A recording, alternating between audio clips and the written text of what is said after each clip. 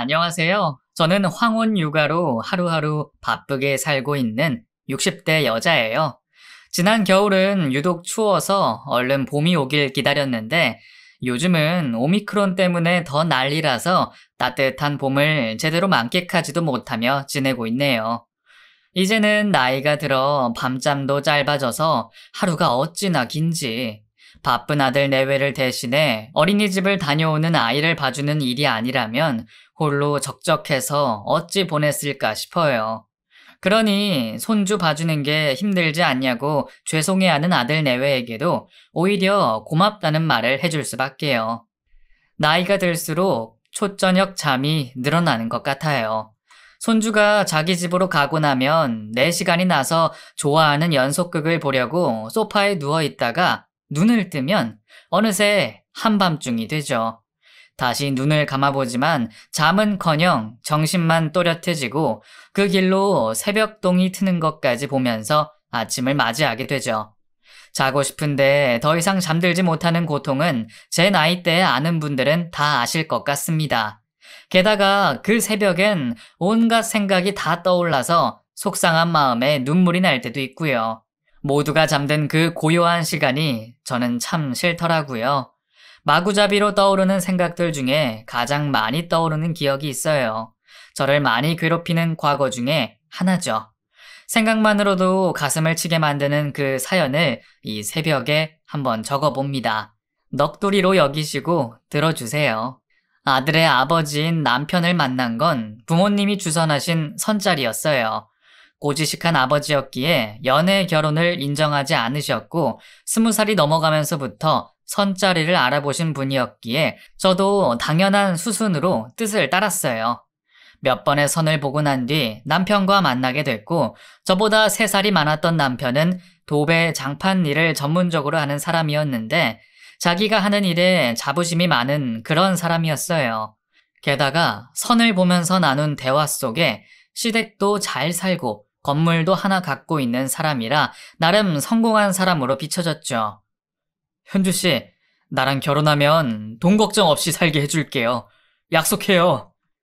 제가 마음에 든 남편은 그렇게 큰 소리로 장담을 했고 박력 있게 말하는 그 모습이 싫지는 않더군요. 게다가 제가 마음에 든다는 듯 눈에 꿀이 뚝뚝 떨어지는 표정으로 쳐다보니 여자된 입장에 기분이 좋기도 했고요. 게다가 아버지가 마련하신 선자리였기에 제 의견이 크게 중요하지도 않았어요. 그래서 저와 그는 맞선을 보고 얼마 안 가 결혼을 하게 됐어요. 사랑이란 감정이 없이 이루어진 결혼이었지만 이왕 하는 결혼 남편과 잘 살고 싶은 마음이 컸어요. 당연히 자식도 줄줄이 낳고 화목한 가정이 될 거라고 기대를 했고 그 흔한 고부 갈등도 잘 이겨낼 자신감도 있었죠. 당시에는 지금보다 시어머님의 권위가 더 셌잖아요. 시어머님이 하시는 말씀에 감히 며느리가 토를 달지도 못할 그런 시절이니 고부 갈등이라고 말할 정도도 안 됐죠. 그런 시절임에도 다행히 시부모님은 저를 예쁘게 봐주셨어요. 남들이 하는 그런 시집살이를 시키지 않으시더라고요. 그래서 저와 시어머니의 관계는 다른 사람들 같지 않게 가까웠고요. 남편도 일이 마치면 바로바로 바로 집으로 왔고 저에게 애정 표현도 참 많이 해주는 사람이었어요. 그리고 참 재밌는 사람이라 저를 웃게 해주려고 노력도 많이 하는 사람이었고요. 그런 그 사람의 노력이 눈에 보여서 저도 남편에게 잘하고 싶어졌던 순간이 있었어요. 자상한 남편에 예뻐해 주시는 시부모님, 든든한 경제력까지 이제 막 결혼한 세댁에서 걱정 없이 지낼 조건들이었지만 남편이 저에게 숨기는 것이 있다는 것을 얼마 가지 않아 알게 됐어요. 뭐요? 대출이 90%라고요? 어, 몰랐어? 당신이 얘기를 안 해주는데 내가 어떻게 알아요? 그랬었나? 내가 얘기를 안 했었나? 결혼을 하고 난 뒤 돈을 계획적으로 쓰기 위해서 남편의 수입 통장을 관리하게 됐고, 그러다가 매달 목돈이 은행으로 들어가는 걸 발견하게 됐어요. 의아했던 저는 남편에게 확인을 했는데, 글쎄, 그 돈이 건물 대출금이라는 거였어요. 남편이 그렇게 자랑스럽게 얘기했던 그 건물이 실은 90%가 은행 소유였던 거죠.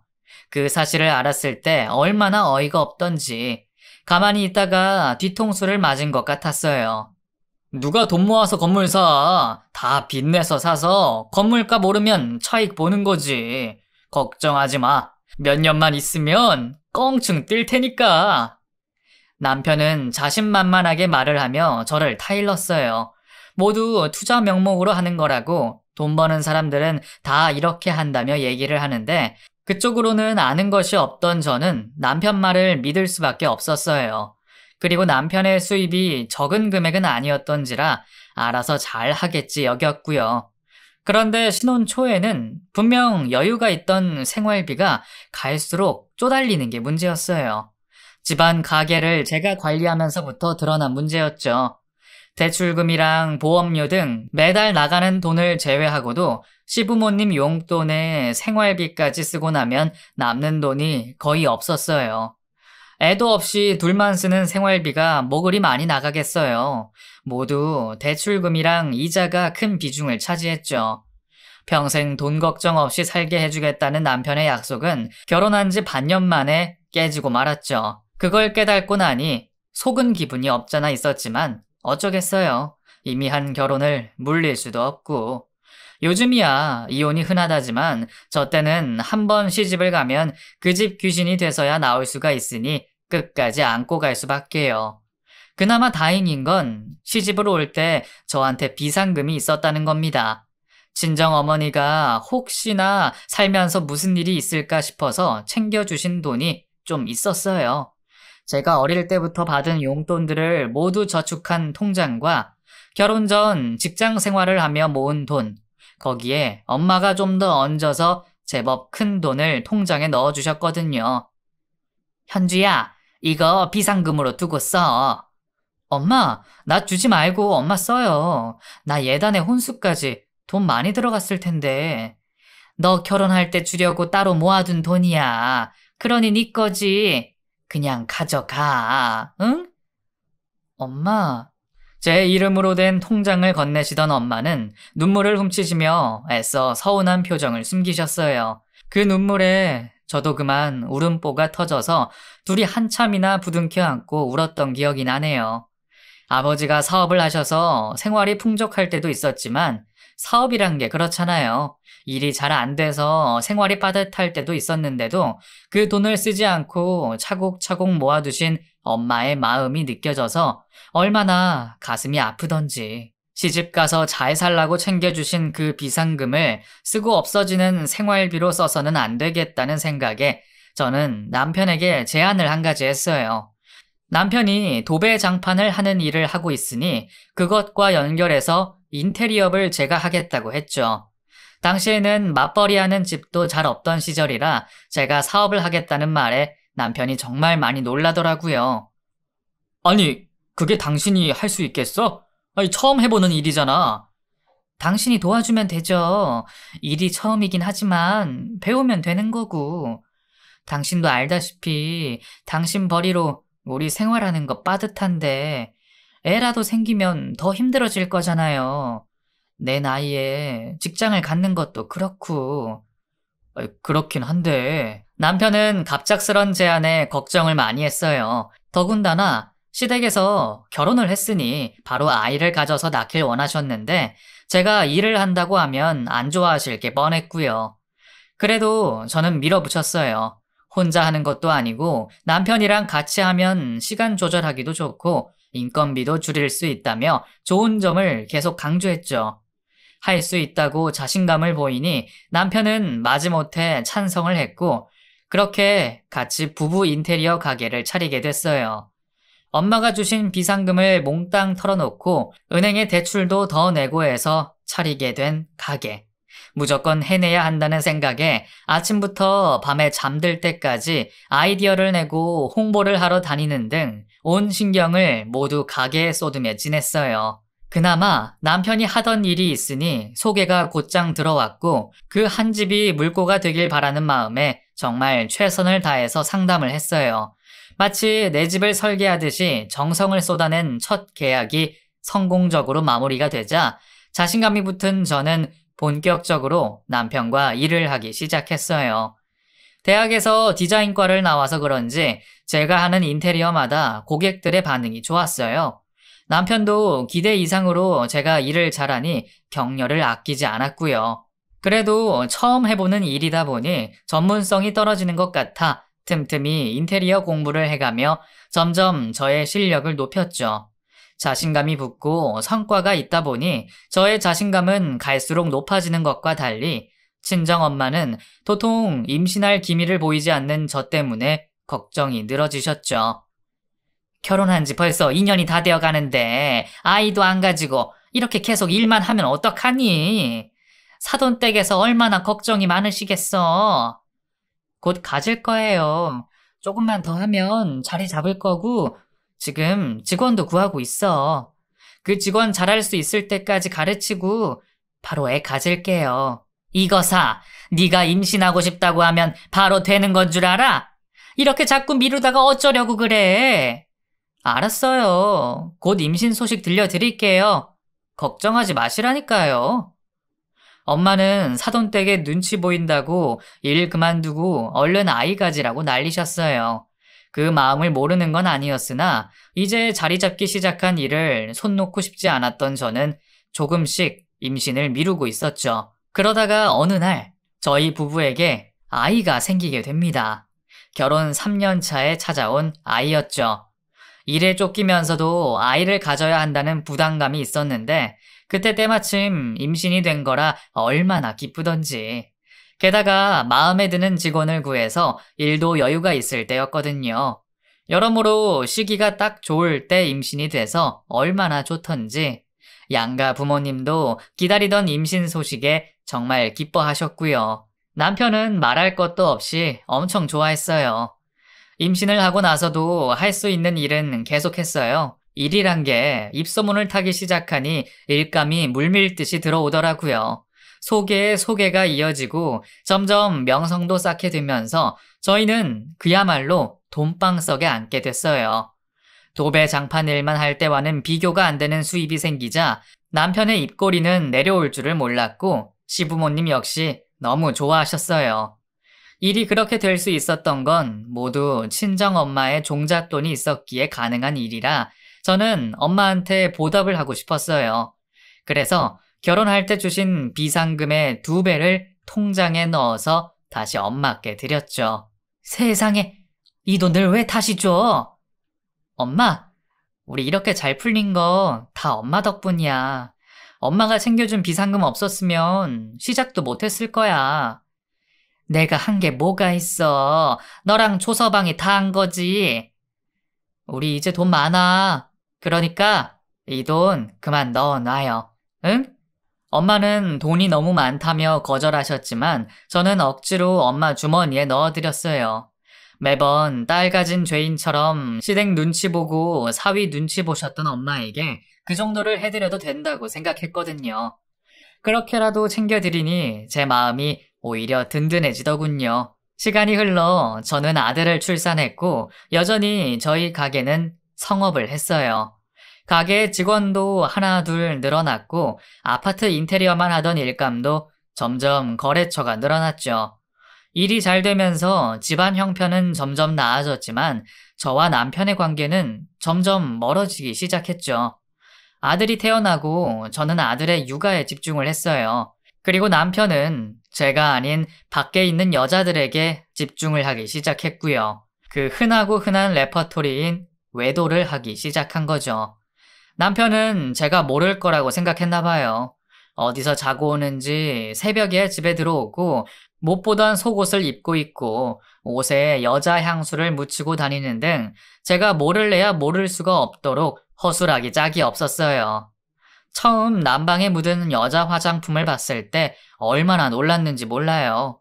저는 바로 추궁을 했고 남편은 접대차 가게 된 술집에서 묻은 거라고 얘기를 하더군요. 그때는 외도에 확신이 없었기에 일 때문에 생긴 거라는 말에 넘어가긴 했지만 제 기분이 괜찮을 리는 없었죠. 그 이후로 남편의 일거수일투족을 더 유심히 살피게 됐는데 얼마 안 가 저는 결론을 내릴 수가 있었어요. 딴 여자와 바람이 난 게 확실하다고요. 퇴근해서 집에 온 남편에게 단도직입적으로 물어봤어요. 바람 났냐고. 그랬더니 펄쩍 뛰면서 아니라고 발뺌을 하더군요. 본인도 그게 나쁜 짓이라는 건 알고 있는 건지 절대로 아니라고 몇 번이나 말을 하더군요. 목소리 큰 놈이 이긴다고 계속 아니라고 우기니 저도 그냥 넘어갈 수밖에 없더라고요. 하지만 아니 땐 굴뚝에 연기가 나겠어요. 그날 이후 조심하는 척 하더니 어떤 여자와 팔짱을 끼고 가는 모습을 저에게 들키고 말았죠. 야시시한 옷을 입고 남편의 옆에 찰싹 붙어서 히히호호 하는 여자를 보니 눈이 뒤집히더군요. 마침 계절이 바뀌어서 남편 옷을 쇼핑하고 나오던 길에 그 장면을 본 저는 냅다 달려서 쇼핑백으로 남편의 뒤통수를 갈겨버렸어요. 어, 뭐야 이거? 바람 핀 적 없다고? 이 여자 뭐야? 너네 둘이 왜 벌건 대낮에 팔짱 끼고 다니는 건데? 이 나쁜 새끼! 옆에 있던 상간녀는 소리를 지르고 남편은 저를 말리고 저는 미친년처럼 날뛰었어요. 그 상황에서 어떻게 맨정신으로 있을 수가 있겠어요. 지나다니던 사람들이 구경하는 시선을 보냈지만 남사스러울 것도 없었고 눈에 뵈는 게 없더라고요. 남편이 한사코 말려서 겨우 진정을 하고 집으로 왔고 남편은 무릎을 꿇고 싹싹 빌더군요. 성민이 엄마, 내가 잘못했어. 응? 아, 다시는 안 그럴게. 어, 내가 각서든 지장이든 적을 테니까 이번 한 번만 봐줘. 응? 내가 바람 피냐고 물었을 때 아니라며. 그런 거 아니라고 나한테 소리 질렀잖아.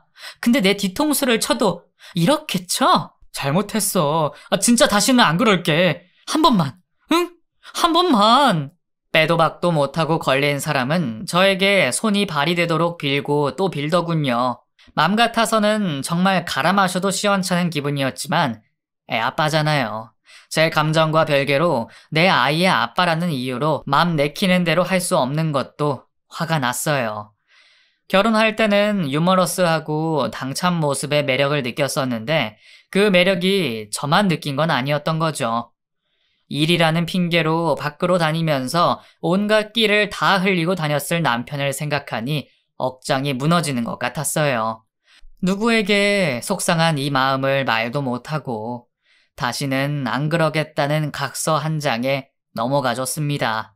하지만 그건 끝이 아니었어요. 뭐든 처음 한 번이 어렵다잖아요. 남편은 저에게 한 번 걸려놓고는 또다시 저 몰래 바람을 폈어요.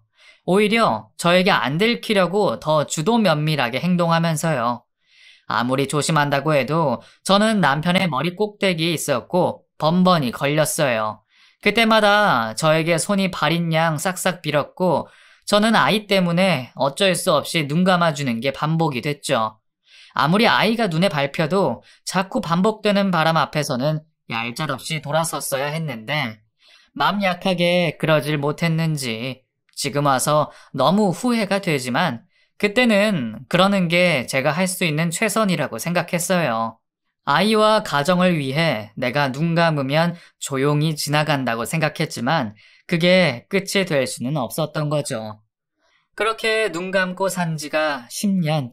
어느덧 아들은 20세 성인이 됐고 아들의 대학교 입학을 기념으로 저녁을 먹는 자리에 남편, 아니, 그 사람은 자신의 내연녀와 함께 자리에 참석했어요. 아들도 있는 자리에 버젓이 상간녀를 데려온 그 사람은 당당하게 저에게 요구하더군요. 이혼을요. 이제 성민이도 다 자랐고 우리 자신의 삶을 살자고. 당신도 나랑 한 입을 덮고 못 살 거 아니야. 그러니까 우리 각자 인생 즐기면서 살자고. 아들과 함께하는 저녁 식사 자리에 내연녀를 데리고 온 아빠라는 사람이나 머리에 뇌는 마치 장식인 양 쫄래쫄래 따라 나온 상간녀나 둘 다 정상은 아니었어요. 부끄러움 같은 건 잊고 사는 건지 너무나 당당한 그 남자의 얼굴을 보면서 속이 미식거리더군요. 결국 그 자리를 박차 나올 수밖에 없었어요. 그런 저를 따라 당황한 아들이 쫓아왔고요. 엄마, 그냥 아빠랑 이혼해요. 더 이상 이렇게 참기만 하시는 거 하실 필요 없어요. 그래, 성민아. 10년이나 참고 산 보람도 없이 이제 끝내야 되겠다. 더 이상 내가 안 되겠어. 그 두 년놈들 상판에 딱이나 올리고 나올 걸. 그냥 나온 게 한이 될 정도였죠. 내가 그동안 어떤 마음으로 참고 산 줄도 모르고 아직도 하고 싶은 대로 하면서 사는 인간을 무슨 기대로 참아줬나 싶은 게 내가 등신이다 싶었어요. 그날 친구를 만나서 술을 얼마나 마셨는지 모릅니다. 술 해독이 안 돼서 잘 마시지 않던 건데도 그날따라 갈증이 나듯이 계속 입에 들어가더군요. 안 하던 짓을 하니 친구도 놀라고 이혼을 결심한 제 얘기에 또 놀라고 다음날 숙취 때문에 고생을 했지만 그렇게라도 쏟아내고 나니 생각이 정리가 되더군요. 마음의 결정을 내리고 그 인간을 만났어요. 네가 바라는 대로 이혼해줄게. 정말이야? 와 웬일이냐? 내 말을 다 듣고 야 이럴 거면 진작 해줬으면 얼마나 좋냐? 이혼하자는 제 말이 그렇게도 좋은지 빙글빙글 웃으면서 말하는 그 남자를 보며 내가 왜 그동안 참고 살았나 회의감이 들었어요. 아이 아빠라는 생각에 붙들고 있어야 한다는 생각했을 때는 그래도 괜찮은 남자라고 여겼었는데 이혼을 하기로 맘먹고 바라본 남자는 보통 형편없는 게 아니더라고요. 내가 그동안 허상을 붙들고 살았구나 싶었어요. 그러느라 아까운 내 청춘을 다 보낸다 싶었지만 이제라도 내 인생을 살자 싶었죠. 나도 이혼하고 먹고 살아야지. 그동안 모은 재산도 많잖아. 아니 설마 그거 혼자 꿀꺽 하려는 건 아니지? 염치라는 단어는 몰라? 어쩜 그렇게 낯짝이 두꺼워? 헤어지는 마당에 우리 인신공격은 하지 맙시다. 아, 나는 정정당당히 내 몫을 요구하는 거야. 아니 솔직히 그 돈 너 혼자 번 거는 아니잖아. 가만히 있으면 어련히 안 해줄까. 법적으로도 다 정해진 게 있는데 굳이 말로 꺼내서 밑바닥을 보이는 그 남자를 보며 어이가 없었어요. 애초에 이렇게 재산을 모으게 된 게 누구 덕인데 일어나 싶고 내가 그동안 참 헛살았다 싶은 마음에 속이 문드러졌어요. 거기다 이 인간은 한술 더 떠서 재산 분할 소송까지 걸더군요. 제가 제시한 금액이 마음에 안 든 거였어요. 이혼의 원인 제공을 한 당사자가 재산 분할 소송까지 거니 법원 쪽에서도 어이없어 했어요. 그러거나 말거나 그 인간은 저에게 한 푼이라도 더 받아가려고 술수를 썼고 이혼하는 마당에 참 더러운 꼴까지 보게 되니 저는 점점 지쳤어요. 원하는 걸 줄 때까지 제 바짓가랑이를 잡고 안 떨어질 것 같은 그 사람을 보면서 제가 일으킨 인테리어 사업체를 그냥 넘겨버렸어요. 혹시 죽더라도 나한테 알리지 말고. 알겠어? 아, 피차 마찬가지야. 너하고 그동안 살면서 내가 얼마나 답답했는지 너 모르지? 너 남자 숨통을 꽉꽉 쬐는 희한한 취미 있어. 나중에 딴 남자 만나더라도 그러지는 마라. 또 그러면 나처럼 도망갈지도 몰라. 결혼 생활 동안 제가 한마디를 하면 열마디를 하던 사람이었어요. 그 성정은 어디 가지도 않고 이혼하는 날까지도 그렇게 못난 말을 퍼붓더군요. 그러면서 마중 나온 상간녀의 엉덩이를 만지며 유유히 떠나는 그 인간의 뒷모습을 보면서 할 수만 있다면 죽이고 싶은 마음까지 들었었어요. 자식까지 낳고 산 여자 가슴에 이렇게 대못을 박을 수가 있나 싶은 게 차라리 이렇게라도 헤어지게 돼서 정말 다행이다 싶었어요. 제발 다시는 저 인간과 엮이지 않기를 바라고 또 바랬어요. 이혼을 한 뒤부터 저는 더 열심히 살았어요. 인테리어 회사는 전 남편에게 넘겼지만 프랜차이즈 가게도 몇 개 있었고 임대업을 하는 빌딩도 하나 있었거든요. 그래서 먹고 사는 건 걱정이 없었죠. 건강을 좀 챙겨야겠다는 생각에 운동도 시작하고 재즈 댄스 학원도 등록해서 취미 활동도 했죠. 그동안 바람피는 남편에게 가 있던 신경들을 나 자신에게 돌리고 나니 세상이 달리 보이더군요. 주변에서도 분위기가 많이 바뀌었다고 보기 좋다고 하고요. 이혼하는 과정이 힘들긴 했지만 어찌 보면 그게 터닝 포인트가 돼서 제가 마음을 달리 먹게 된 계기가 됐죠. 아들은 대학원까지 졸업을 하고 사귀던 여자친구와 결혼을 하게 됐어요. 대학 때부터 사귀던 사이라 저랑도 잘 지내던 여자아이였는데 끝까지 그 인연을 잘 이어가서 결국 결혼까지 맘먹었더라고요. 사돈이 될 집안 부모님은 두 분 다 교사셨고 그런 가정에서 자라서 그런지 며느리는 성격도 참 차분하고 예뻤어요. 그런 며느리가 저도 마음에 쏙 들었고요. 결혼식 날을 잡고 아들이 저에게 말을 하더군요. 엄마, 결혼식 날 아버지도 부르고 싶은데 괜찮으시겠어요? 뭐? 네 아빠? 아, 사실 엄마 이혼 후에도 아빠한테 계속 연락이 왔었어요. 엄마가 속상하실까봐 말씀은 안 드렸는데 그 남자한테서 계속 연락이 왔었다는 아들의 말이 좀 의외더군요. 여자 뒷공무니만 따라다니면서 살 줄 알았는데 그것도 앱이라고 아들 생각이 난 모양이었죠.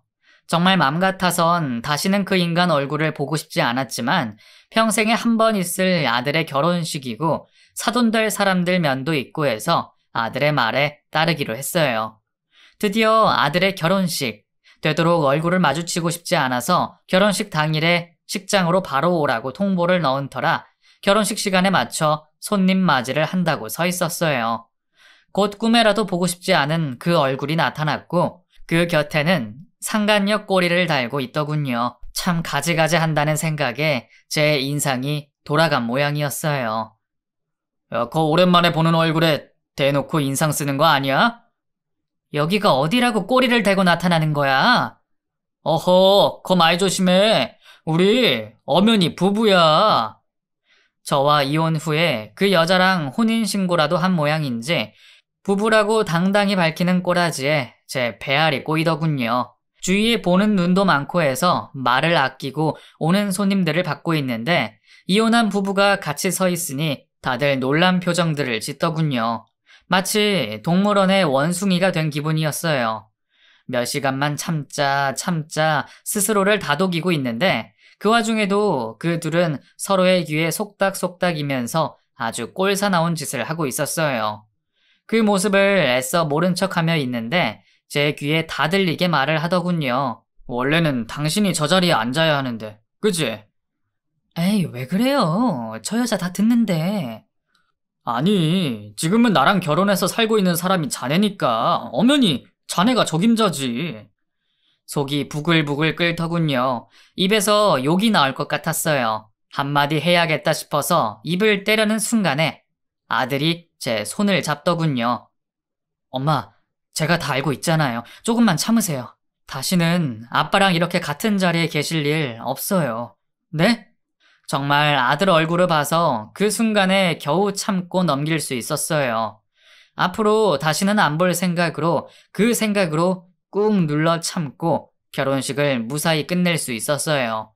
무대 위에 서 있는 아들과 며느리는 한 쌍의 백조처럼 정말 아름다웠어요. 부디 아들은 나처럼 힘든 결혼 생활을 하지 않기를 속으로 얼마나 빌었는지 모릅니다. 그걸 위해서라도 결혼식이 흠없이 끝나야 했고 무사히 모든 행사가 끝날 수 있었어요. 아들 내외는 강남에서 영어 학원을 크게 운영했어요. 결혼 전부터 아들이 운영하던 학원이었는데 며느리와 결혼을 하면서 확장을 하게 됐죠. 둘 다 젊어서 그런지 운영에 대해 애착이 남달랐어요. 둘만의 목표도 있었고 앞으로의 계획도 있더라고요. 그렇게 바쁜 생활 속에서도 며느리는 꼬박꼬박 저에게 안부 인사를 하면서 며느리 노릇을 하려고 애를 쓰더군요. 어른 공경할 줄도 알고 잘하려고 애쓰는 모습이 어찌 안 이쁠 수가 있겠어요. 먼저 며느리를 본 친구들이 딸 같은 며느리는 없다고 했지만 진심으로 저는 며느리가 딸처럼 예뻤어요. 게다가 결혼하고 얼마 지나지 않아 임신까지 돼서 정말 축하할 일이 줄을 이어 생겼죠. 저희는 일주일에 한 번은 아들 내외와 같이 저녁 식사를 했는데 그 자리에서 이상한 소리를 듣게 됐어요. 상민 씨, 아버님이 입금 안 됐다고 전화하셨던데 오늘 송금해 드렸어? 어? 아, 어, 아까 보냈지. 송금이라니? 얘기를 듣던 제가 송금이 뭐냐고 묻자 아들 내외가 당황해서 쳐다보더군요. 아들은 이미 변명거리를 생각해내느라 머리를 굴리는 게 빤히 보였고요. 저는 숨길 생각 말고 이실 짓고 하라고 했고 아들은 어쩔 수 없이 말을 꺼냈어요. 그게 아버지가 급하게 돈이 필요하다고 하셔서 뭐? 돈? 그래서 네가 돈 보내준 거야? 어. 뜬금없는 전 남편 얘기에 저는 그만 마음이 상해버렸어요. 게다가 그 남자가 아들에게 돈을 요구하는 게 비밀로도 하지 않는 듯이 며느리도 다 알고 있는 것 같아서 얼마나 낯뜨거웠는지 모릅니다. 너희가 그 사람 돈을 왜 해줘? 또 연락 오면 안 된다고 하고 이제 연락 끊도록 해라. 네, 어머님. 설마 이번이 처음이 아닌 거니? 예상대로 결혼 후 몇 번이나 돈을 그렇게 해준 것 같았어요. 저는 애들이 대답하는 게 시원찮아 보여 더 캐물었고 알고 보니 아들의 새엄마가 된 그 내연녀와도 몇 번이나 학원에 왔다는 소리를 해서 깜짝 놀랐죠. 갑자기 두통이 오는 것 같아 눈을 감고 있으니 아들이 놀라서 살폈어요. 엄마 이러실 것 같아서 얘기 안 한 거예요. 어, 엄마, 괜찮아요? 병원 갈까요? 어머님, 괜찮으세요? 그래, 괜찮다. 걱정하지 않아도 돼. 너희들이나 내 말 들어. 다시는 그 둘이 오더라도 맞장구 쳐주지 마. 알았니? 네. 아들과 며느리에게 한 번 더 당부를 했고 아이들은 그렇게 하겠다고 했어요.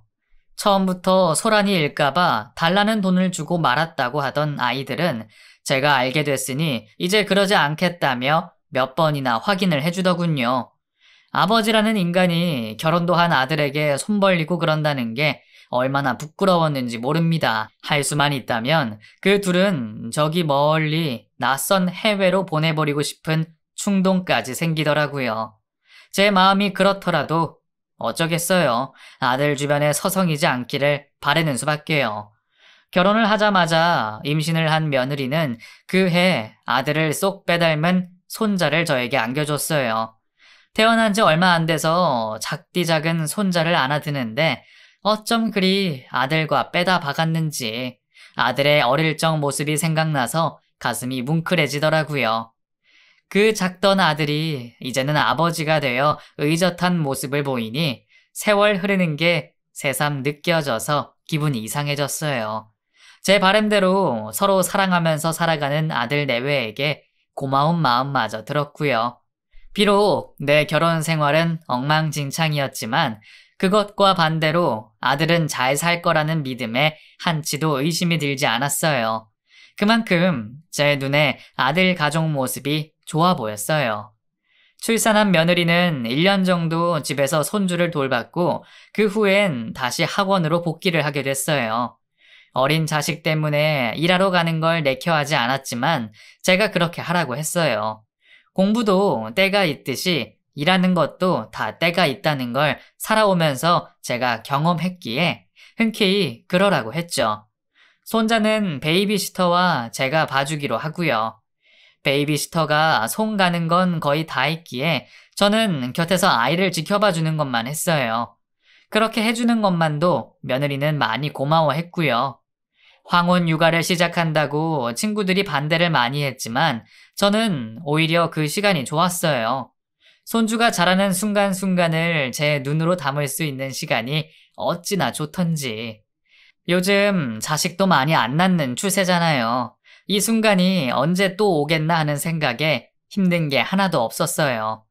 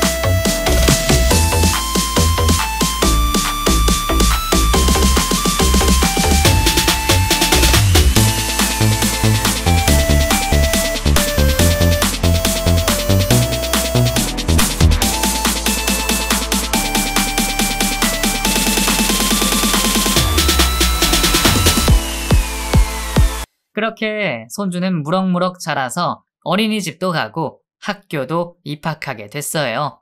손주가 10살이 될 때까지 저는 계속 아이를 돌봐줬죠.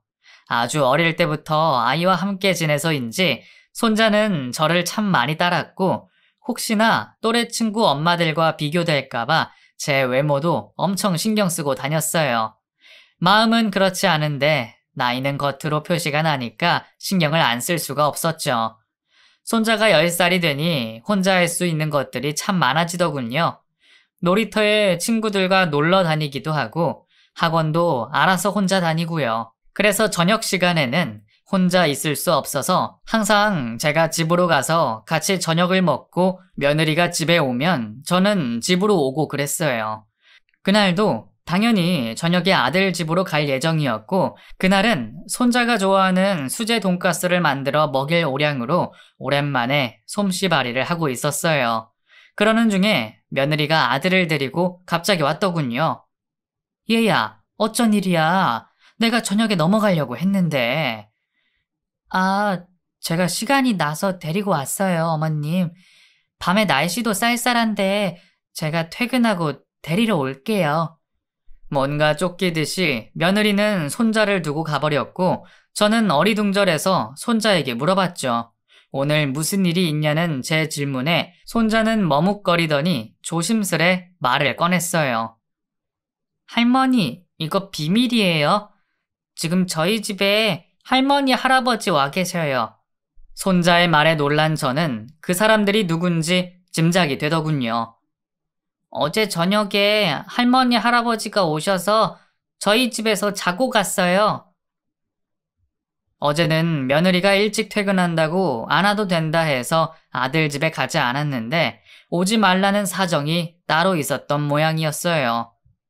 현우야, 옷 입어라. 할머니랑 집으로 가자. 속에서 열불이 나더군요. 그래서 손자의 손을 잡고 아들 집으로 곧장 갔어요. 엘리베이터에서 내리니 이미 현관 밖까지 음식 냄새가 진동을 하고 있었고 마치 잔치집인 양 전부치는 기름 냄새가 났습니다. 거침없이 현관문을 열고 들어서니 거실에 한 상 차린 음식이 있었고 거실 소파에서 히히락락거리며 TV를 보고 있는 전 남편과 그의 부인이 있더군요. 그 둘은 갑자기 들이친 저를 보고 놀란 표정이었어요. 저는 며느리를 찾아서 부엌으로 가니 사구 인덕션에 냄비가 모조리 올라가 있고 음식 장만에 정신이 없어 보이더군요. 에미야. 어머, 어머님 언제 오셨어요? 너, 이게 다 뭐니? 아, 아버님이 오늘 생신이시라. 알고 보니 그 인간 생일이라 생일상 받아먹으러 온 거였죠. 저는 거실로 다시 가서 그 인간에게 소리쳤어요. 생일이면 니들 둘이 생일상 차려서 먹으면 되지. 무슨 낯짝으로 여기까지 와서 이러는 거야? 반기는 사람이 누가 있다고? 이건 말 함부로 하고 그래. 나도 시아버지 대접받을 자격이 있어. 그깟 생일상 하나 받는 게 뭐 그리 대단한 일이라고 이 난리야? 뭐라고? 그 남자가 저에게 소리를 치는 동안 예전 그 상간녀가 희죽거리며 웃는 게 보이더군요. 그 순간 저는 그동안 꾹꾹 눌러 담아놨던 분노가 폭발했고 차려진 생일상을 엎어버렸어요. 이게 무슨 짓이야, 이 여편네가! 그 남자도 눈이 돌았던지 상이 엎어지자마자 그 큰 손으로 제 얼굴에 따귀를 놓더군요. 얼마나 세게 쳤던지 그 힘에 밀려 저는 뒤로 넘어갔고 그만 거실장 모서리에 머리를 받고 말았어요. 그 충격에 제 머리가 찢어졌고 온데 피가 튀고 철철 나기 시작했어요. 손자는 새빨간 피에 놀라서 울고 며느리가 급하게 부엌에서 뛰어오는 모습을 보면서 저는 정신을 잃었어요. 다시 눈을 떠보니 병원이었어요. 옆을 돌아보니 아들이랑 며느리가 얼굴에 근심이 가득한 채 저를 쳐다보고 있더군요.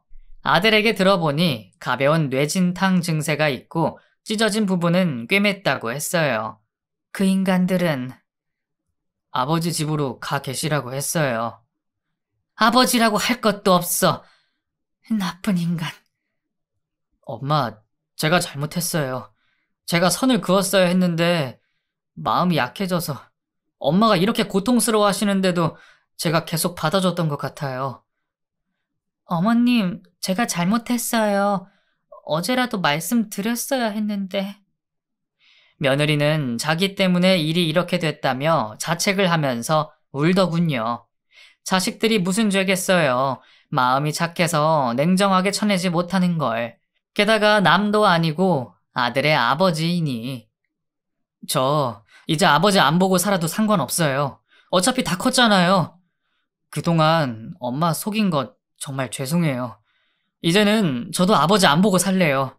엄마 힘들게 안 할게요. 네, 어머님.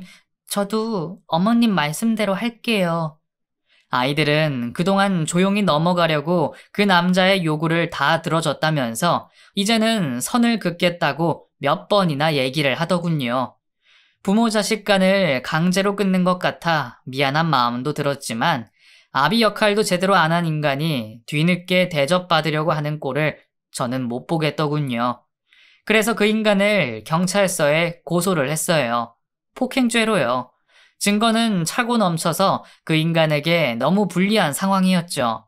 고소를 당하니 깜짝 놀라서 저를 찾아온 전 남편은 저에게 합의해달라고 윽박을 질렀어요.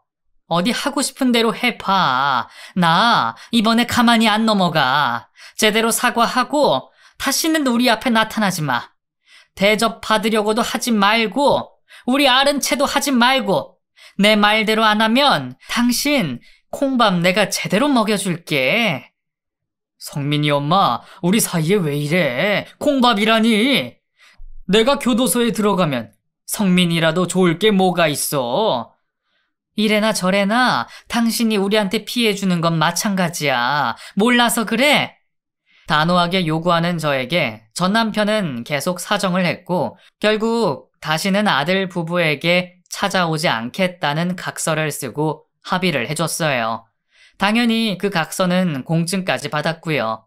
전생에 무슨 죄를 그렇게 지은 건지 악연도 이런 악연이 없는 것 같아요. 우선은 이렇게라도 인연을 끊어내려고 술을 써놨지만 약속을 제대로 지킬지는 솔직히 못 믿겠어요. 그래도 지도 아비라는 사람이니 아들을 위하는 게 뭔지는 깨닫는 순간이 오겠죠. 제 사연은 여기까지예요. 결혼으로 시작된 그 인간과의 관계를 이렇게 쭉 쓰다 보니 참 질긴 인연이구나 싶은 생각도 드네요. 제발 이대로 그 인간과의 인연이 끝이 나길 바라는 마음으로 글을 마무리합니다. 두서없이 쓴 긴 글 들어주셔서 감사합니다.